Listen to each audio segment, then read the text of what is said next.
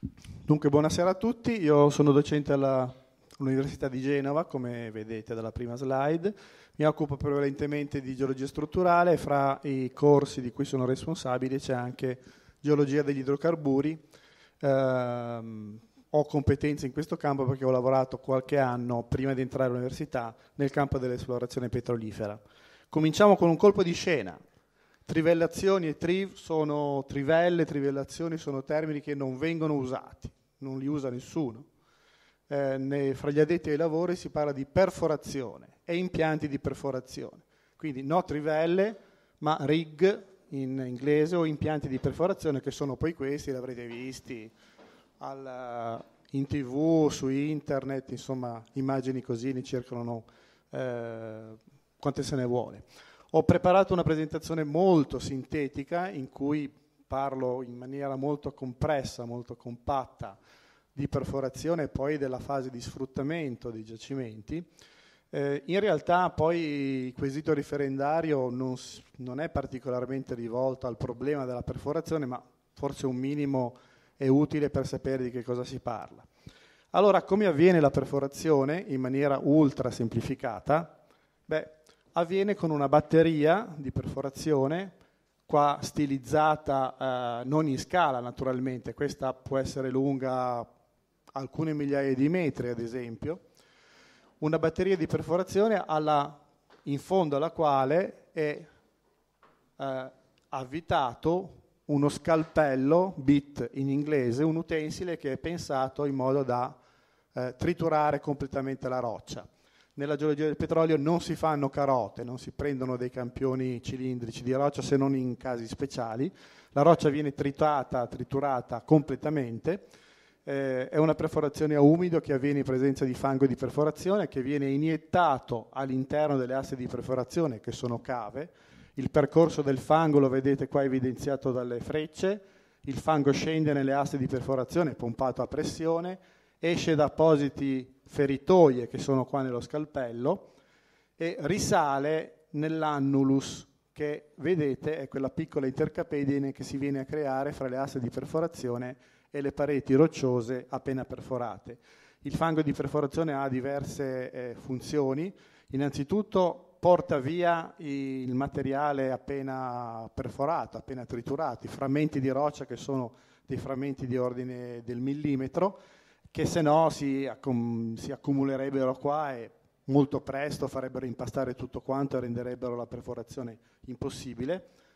Il fango raffredda anche tutto quanto perché ovviamente si sviluppa calore. Il fango esercita anche una spinta idrostatica, una controspinta rispetto ai fluidi di formazione che se no entrerebbero in pozzo. Ok, quindi il fango viene pompato dentro, fa questo percorso, esce dallo scalpello, risale nell'annulus, fino in superficie dove viene intercettato, viene fatto passare sopra una, un grosso colino, una, una specie di, di, vaglio vibrante che separa la parte liquida dalla parte solida, cioè dei frammenti di roccia. I frammenti di roccia vengono poi mh, presi e studiati per capire che rocce si stanno attraversando, mentre la parte fluida viene ricondizionata, quindi vengono, rimessi eventualmente i chimici che mancano oppure le, vengono restaurate le eh, caratteristiche fisiche che eh, vogliamo e poi viene rimesso dentro a circuito chiuso. Naturalmente man mano che ci si approfondisce il volume del foro aumenta e quindi ogni tanto ci sarà bisogno di aggiungere un altro po' di fango.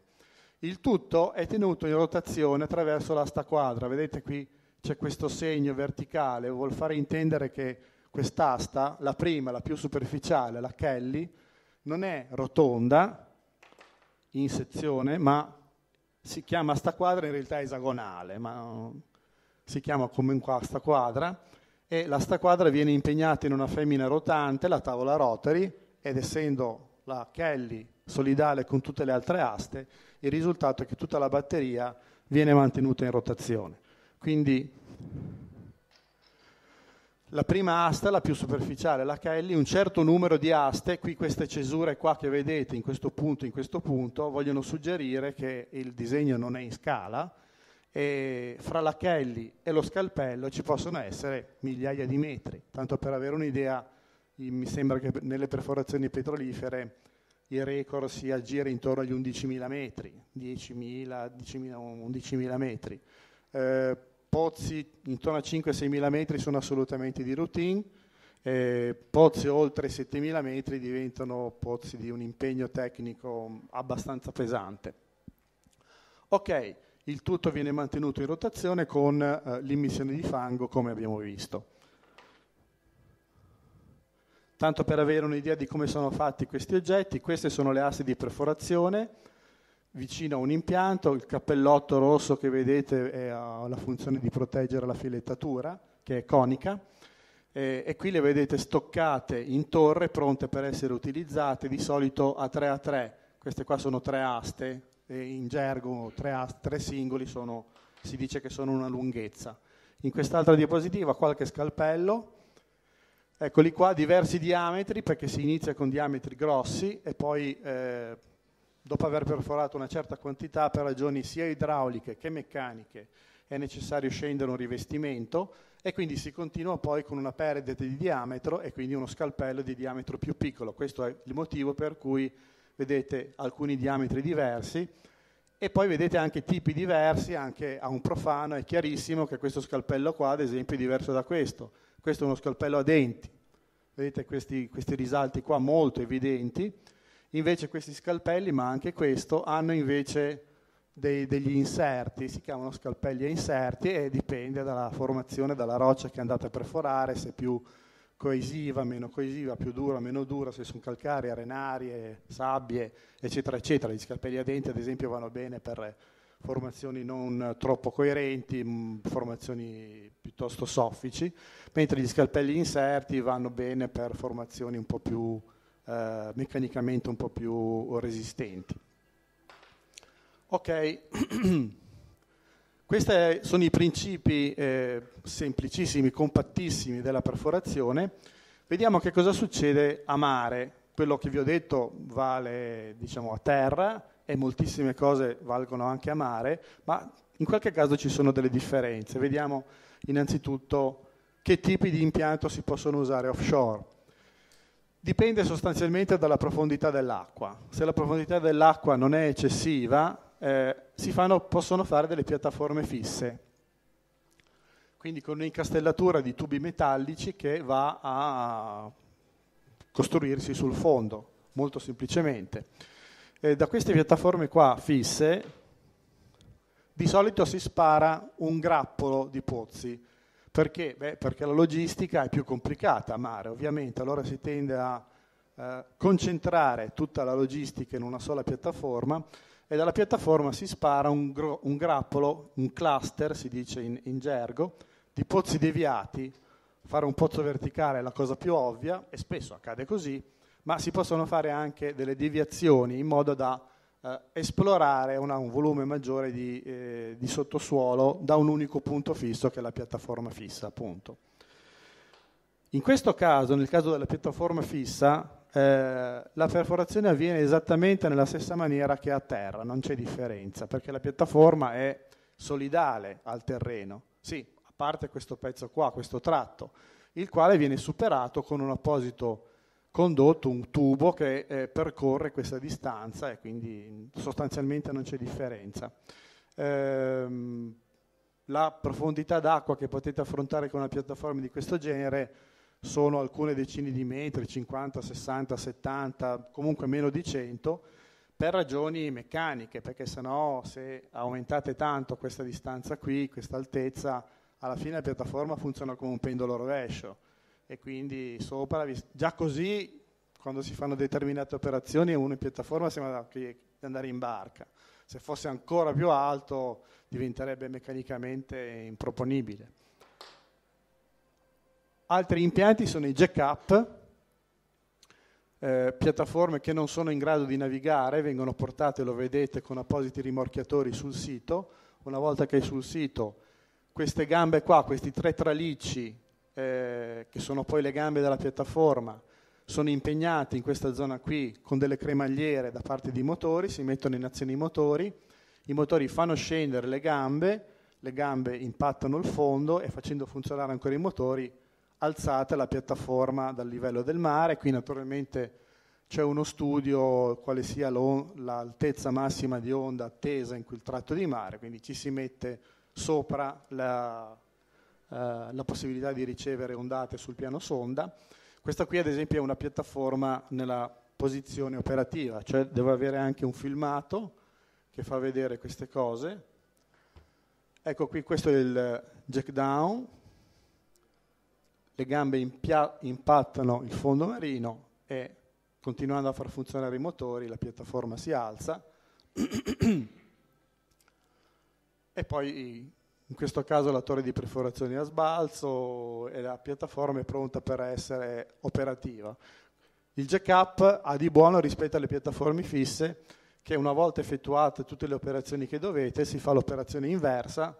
si fa il jack down, alzate le gambe, attaccate i rimorchiatori e, e l'impianto viene portato su un altro sito e può ricominciare a lavorare. Anche per il jack-up c'è una connessione fisica precisa fra la piattaforma e il fondo e quindi la perforazione avviene di nuovo con le stesse modalità che a terra, non c'è differenza. La differenza invece c'è per piattaforme semisommergibili e drilling ship per il jack-up, ah, ecco, mi scordavo di dire che qual è la potenzialità di profondità d'acqua. Questa torre fate conto che sia alta una sessantina di metri, quindi vedete che le gambe potrebbero essere forse un centinaio di metri, però qualcosa vi mangia il fatto che la piattaforma deve stare comunque una decina di metri fuori dall'acqua, quindi la profondità d'acqua che potete affrontare è sempre inferiore ai 100 metri. Se avete una profondità d'acqua maggiore, entrano in campo le semisommergibili. Semisommergibili perché? Beh, perché galleggiano, ci mancherebbe altro, ma anche qua, diciamo, come suggerito in questa immagine dalla distribuzione delle, eh, della, della vernice, queste gambone qua vengono riempite parzialmente di acqua di mare ed è per questo che si chiamano semisommergibili, vengono semisommerse, questo conferisce una grande inerzia alla piattaforma tutta e quindi una poca sensibilità al, al moto ondoso. E in più poi ci sono dei sistemi di posizionamento automatico collegati col GPS, la piattaforma dei thruster, cioè dei motori di controspinta, e quindi comodati del GPS, appena si sposta si, a, si accende il contromotore opportuno che la riporta nella posizione, insomma il posizionamento è sufficientemente preciso, la piattaforma sta abbastanza sul punto voluto, a meno che non ci sia un motondoso molto intenso, allora bisogna andare in hang-off, cioè si fa un'operazione di sgancio di quello che vedremo poi. Altra soluzione è la drilling ship, cioè una, uh, una, nave su cui è stata montata una torre di perforazione. Si preferiscono le drilling ship quando dovete fare un lavoro più di esplorazione perché si può muovere agilmente con i propri mezzi da un sito all'altro mentre le semisommergibili in, eh, magari in situazioni un po' più definite in cui già, è già stato individuato un giacimento. In questi due casi, nelle semisommergibili e nei drilling ship, non c'è più un contatto preciso fra la piattaforma e il fondo, come succedeva per le piattaforme fisse o, o, o i jack-up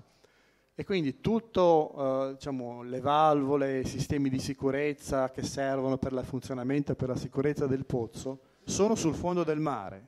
mentre di solito sono sull'impianto, sulla piattaforma fissa o sul jack-up, perché appunto hanno una connessione precisa, fisica, fissa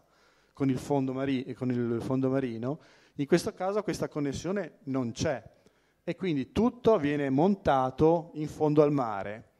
eh, per esempio con dei sommozzatori di alta profondità o con dei battiscafi, a volte anche telecomandati. E poi c'è una connessione morbida, chiamiamola così, fra il fondo del mare e la drilling ship o la semisommergibile, che viene effettuato con un, una condotta, che poi è un tubo parlando in maniera un po', un po' banale, che si chiama riser, mi sembra che qua da qualche parte ci sia, eccolo qua, il riser assicura la tenuta idraulica perché sennò il fango che risale eh, da fondo foro andrebbe in mare perdendosi, questo naturalmente eh, non vogliamo che accada. Il riser è un tubo di acciaio, eh, ben inteso, ma eh, comunque su una lunghezza mh, mm, notevole, perché qui potete avere fino a un 2000 metri d'acqua anche,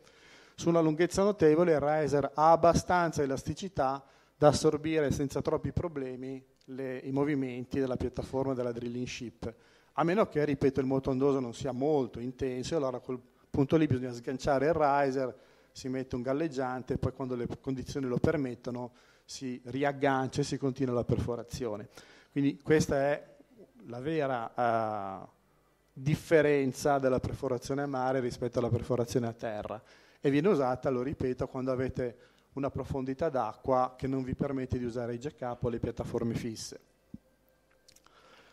Adesso entriamo un po' più nel merito invece della fase di produzione. Quando avete finito la perforazione si fanno delle prove che fanno capire se ci sono idrocarburi, se ci sono di che qualità, se, sono, se eh, il pozzo è capace di erogare con che portate, con che pressioni, eccetera, eccetera. Naturalmente comanda sempre il dollaro, quindi deve essere salva l'economicità della, della, dell'operazione, quindi quando ci si è accertati che l'operazione è economica, allora si entra nella fase di completamento del pozzo, si scende un rivestimento, viene chiamato casing, che è poi un tubo di acciaio, eccoli qua, anche questi li vedete filettati, vengono avvitati gli uni sugli altri per tutta la lunghezza necessaria, quindi il pozzo poi viene rivestito, non, non resta a foro scoperto, e, e, viene fissato alla roccia tramite un'operazione di cementazione. Si fa la tesa presa cemento e poi successivamente beh, si fora il casing, la cosa è un po' curiosa, lo scendo intero ma poi con un opportuno attrezzo si effettua una, una foratura del casing, naturalmente non dappertutto ma esattamente in corrispondenza dello strato roccioso della formazione che abbiamo capito è mineralizzato idrocarburi ed è capace di erogare idrocarburi. E poi quindi abbiamo messo in comunicazione idraulica la formazione, la roccia, con l'interno del, del pozzo, eh, però non vogliamo che gli idrocarburi vadano proprio ovunque, li vogliamo convogliare in un tubo più piccolo, concentrico al casing, che viene chiamato tubing, e eh, per fare questo, per far sì che eh, il tubing, eh, non, la, gli idrocarburi con il gioco delle pressioni entrino nel tubing e non vadano invece alle spalle del tubing, si monta un packer, eccolo qua, questo qua rosso. Il packer è qualcosa di molto simile a questo aggeggio che conoscerete tutti, e il tappo per l'acqua minerale, eh, sapete che fate forza sulla leva, questa guarnizione qua si espande, e fa tenuta nel collo della bottiglia dell'acqua minerale. Il packer funziona alla stessa maniera, anche se a scala molto più grossa. Si fa una manovra in testa, queste gomme rosse si espandono, fanno uh, tenuta sul casing. La differenza è che il packer è passante, cioè il tubing qua passa il packer e insomma alla fine riuscite a far sì che gli idrocarburi che vengono fuori dalla roccia si mettano uh, solamente dentro a questo tubing qua e risalgono verso la superficie. In superficie cosa c'è? Beh, una volta che è finita la perforazione e tutte le operazioni che richiedono la presenza della torre, la torre di perforazione viene smontata e eh, viene montato semplicemente questo trabiccolo che è un insieme di valvole, di manometri, di strumenti di controllo del flusso degli idrocarburi, si chiama albero di Natale, Christmas tree. E alla fine eh, a testa pozzo rimane soltanto l'albero di Natale. Qua avete un'altra immagine reale, è una, uh, invece uno schema dove è mostrato che ci sono valvole, controvalvole, manometri, strumenti di controllo, eccetera. Eh, naturalmente è importante che questa roba qua funzioni, eh, perché è quella che controlla il flusso degli idrocarburi, mi permette di fermarlo se c'è qualche eh, problema, qualche imprevisto. C'è una normativa internazionale che si occupa di queste cose e che naturalmente è recepita dall'Italia, la quale anzi la, eh, mi risulta che sia anche inasprita. Tutte queste robe qua devono essere sempre in doppio, qualche volta sono anche in triplo, quindi non è che ci sia una sola valvola che controlla il flusso di idrocarburi, ce ne sono come minimo due, spessissimo anche tre, in modo che se c'è un malfunzionamento, un incidente, c'è una, un backup che è capace di svolgere la stessa funzione. Siamo tornati a terra, ma ritorniamo subito a mare. A mare che cosa succede? Beh, a mare eh, dipende ancora una volta eh, dalla profondità d'acqua. Se la profondità d'acqua non è eccessiva, allora si fa una piattaforma fissa. Li vedete qua, eh, vedete che queste piattaforme non hanno più la torre di perforazione, sono ancorate al fondo del mare e spessissimo funzionano da hub, cioè a una piattaforma, un'unica piattaforma fissa convergono magari 5, 6, 7, 8 pozzi con i loro, con i loro prodotti di idrocarburi o fino a una dozzina. E poi dalla piattaforma fissa ci può essere ad esempio uno, un pipeline che porta gli idrocarburi a terra, eh, oppure possono essere anche svuotate periodicamente da una, da una, da una petroliera. Ma le, mh, mm, le, le, piattaforme fisse sono di solito a poca, profond- cioè, poca profondità d'acqua, vuol dire non eccessiva distanza dalla costa e quindi è più probabile che si faccia una pipeline. Invece in grossa profondità d'acqua le piattaforme fisse non le potete più fare e allora gli alberi di Natale sono sul fondo del mare questo è una, un disegno che diciamo, vuole, eh, con questo sfumo qua azzurrino, vuole dare l'idea di essere sotto la superficie del mare. E questi qua sono gli alberi di Natale di diversi pozzi, anche qua si raccolgono eh, i, i prodotti di diversi pozzi e si mandano, per esempio, a una piattaforma semisommergibile di produzione la quale a sua volta può avere una pipeline che va a terra oppure può essere svuotata periodicamente da una petroliera. Ok, qui è, diciamo, questa qui è la fase che è più interessata dalla, dalla,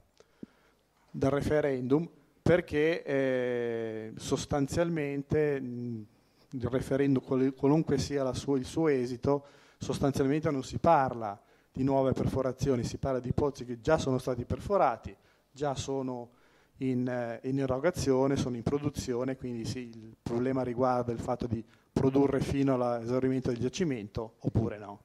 Io con questo avrei finito.